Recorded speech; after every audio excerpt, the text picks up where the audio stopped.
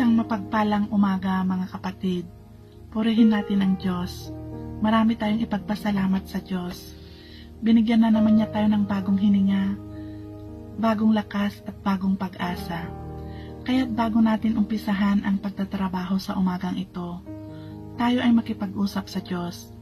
That is the sure way to put God first in our day.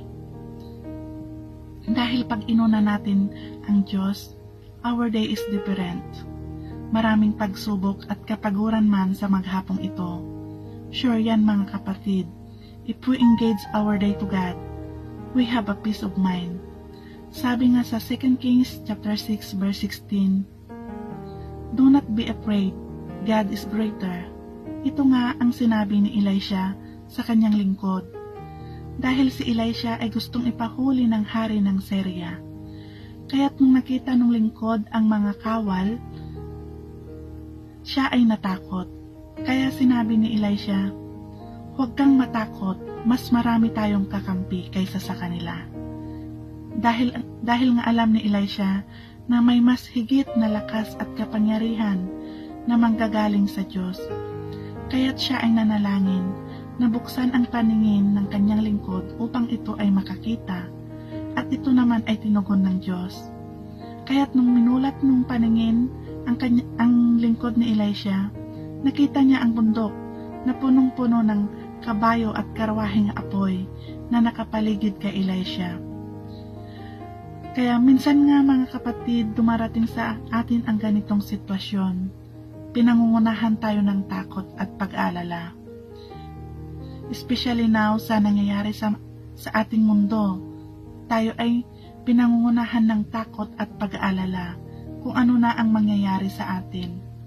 Instead na matakot ka kapatid, why don't you sit on the corner and pray to God?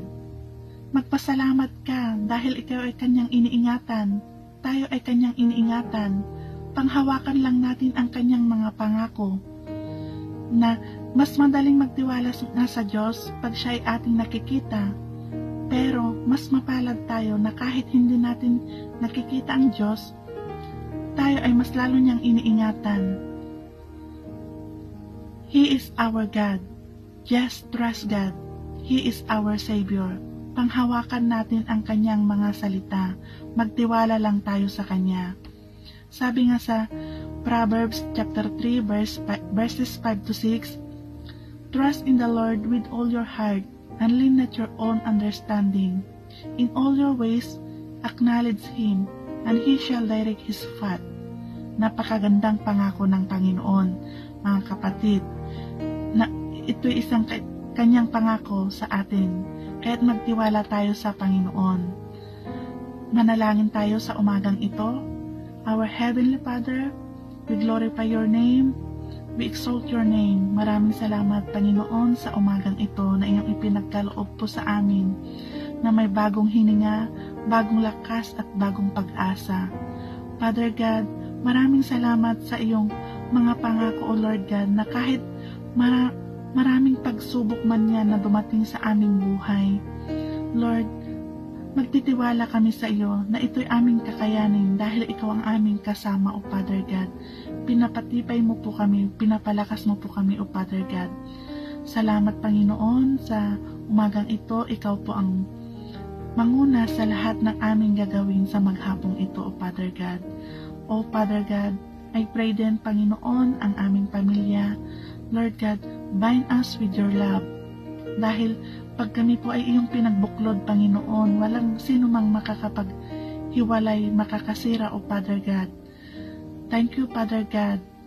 Lord, I pray din po, Panginoon, sa mga nangangailangan ng kagalingan. I speak healing, O Father God, in the name of Jesus. Sila po iyong pinagaling dahil ikaw po ang aming Diyos na makapangyarihan, our great healer and our great doctor, O Father God.